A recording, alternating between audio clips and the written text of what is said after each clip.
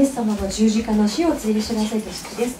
この教会ではイエス様を私の救い主僕の救い主と信じている方そして洗礼を受けている方や洗礼を受けたいと願っている方がこの生産式を受けることをお勧めしています。それではこの生産式のために初めに共にお祈りをしていきましょう。愛する天のお父様愛する主イエス様この生産式をありがとうございます。イエス様の、えー、御父と御体の恵みを今私たち一人一人の上に豊かに表してください。初めにわたり感謝してイエス様の尊いお名前によってお祈りします。アーメン。それでは生産式を受ける前にお一人一人心の中で結構ですから神様の前であ悪いことをしてしまったっていうことを思い出したら神様ごめんなさいと心から謝る時悔い改めのお祈りの時を持っていきましょう。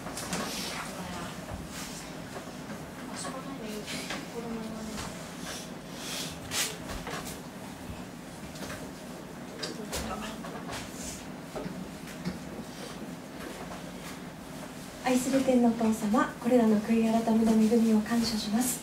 イエス様の尊いお名前によってお祈りします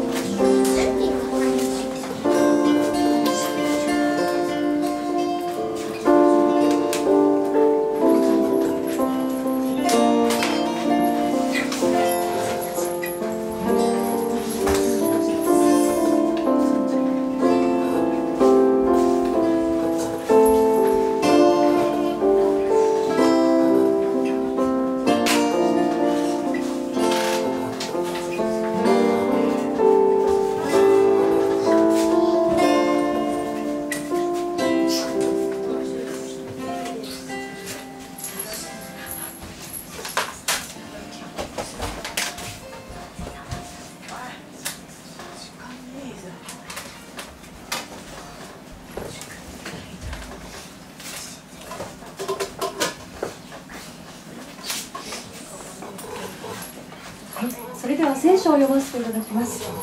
私は主から受けたことをあなた方に伝えたのです。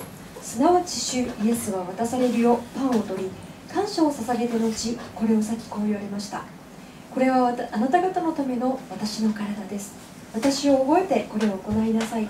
それではイエス様の尊い御体をいただきましょう。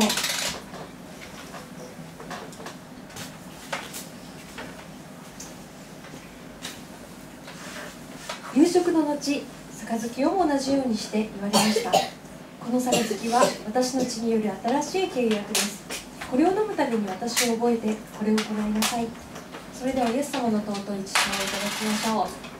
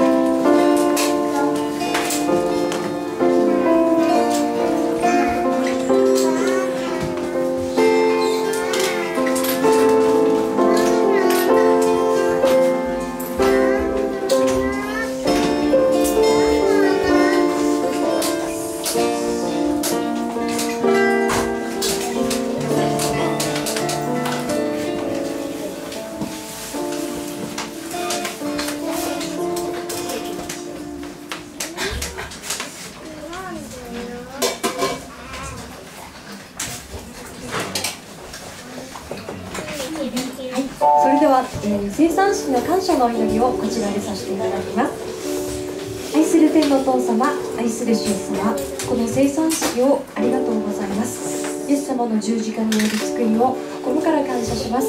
イエス様の尊いお名前によってお祈りします。アーメン。